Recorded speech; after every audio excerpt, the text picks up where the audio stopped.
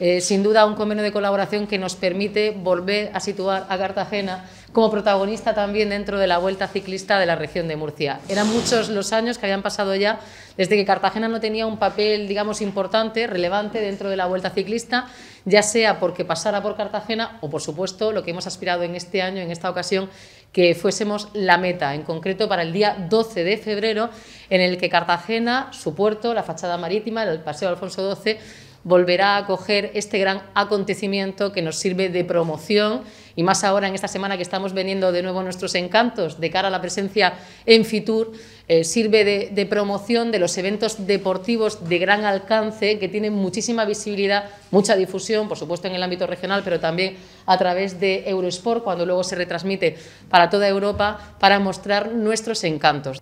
Que todo comenzó aquí en Cartagena, ¿no? Con Miguel Indurain ganando y, bueno, este tipo de anécdotas y de curiosidades, sin duda, de nuestro pasado, de nuestra historia, pues nos hacen eh, recordar lo importante que ha sido siempre la Vuelta Ciclista a la región de Murcia, 42 ediciones ya, y sin duda el papel protagonista que debe tener Cartagena, que por fin se hace justicia y volvemos a retomarlo. Aquí en Cartagena vino Miguel Indurain, ganó su primera vuelta internacional, como ha dicho Noelia, que le dio un espaldarazo a la Vuelta Ciclista a la región de Murcia cuando todavía era Open, o sea, corrían profesionales con aficionados y Miguel Indurain empezaba a correr. Desde entonces Miguel vino a casi todas las carreras. Hemos estado en Cartagena muchísimas veces, siempre a, plena satisfacción. Hemos pasado por Cartagena infinidad de ocasiones, siempre perfecta la organización, con una policía local que ha estado muy pendiente de, los corredores y muy pendiente de la caravana de, de la Vuelta Ciclista a la comunidad. El primer ciclista murciano de la comunidad que ganó la Vuelta Ciclista de España fue Alejandro Valverde. Pero antes, un equipo ciclista había ganado la Vuelta Ciclista a España. Fue en el año 1959. Ese equipo ciclista era Licor 43. Ganó la Vuelta a España. Y el director de ese equipo, Licor 43, era el creador de la Vuelta Ciclista a esta comunidad, Alfonso Guzmán. Y estoy seguro que van a ver este año una, un final tremendo. Van a venir los ciclistas cansados.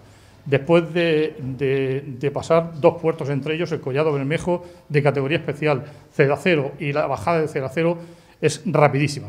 Va a ser espectacular. No lo perdáis, además. Tenéis Eurosport que lo da a no sé cuántos miles de países, o cientos de países, un montón. Bueno, yo eh, como representante de Banco Sabadell agradeceros, agradeceros la, presencia y, daros las gracias de la oportunidad que nos dais de patrocinar eventos de este tipo con el que Banco Sabadell se identifica plenamente. ¿eh? Tiene valores totalmente coincidentes con nosotros como la perseverancia, el esfuerzo, etcétera.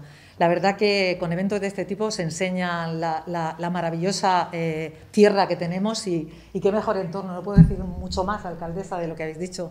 Yo creo que es una oportunidad de oro de, mostrar pues, e, el enclave privilegiado que tiene Cartagena, ¿no? el, el extraordinario entorno cultural que tiene. La Vuelta Ciclista a la región de Murcia tenía que terminar este año en el puerto, en Cartagena. Teníamos ese interés desde el principio. Y ha habido un cambio. Quien lo pueda ver o quien no lo quiera ver, pero lo que tenemos muy claro que Cartagena es el epicentro regional de la actividad deportiva. Y tenemos una vuelta ciclista a la región de Murcia que va a tener todos los elementos.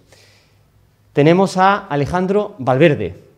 La vuelta pasará de la casa de Alejandro, pasará casi por su puerta, por la de toda la vida, y llegará al puerto de la capital turística de la región, porque es el emblema y es la señal de una región de Murcia próspera que de verdad tiene capacidad para poder seguir ganando el, futuro. Y eso es lo que queremos.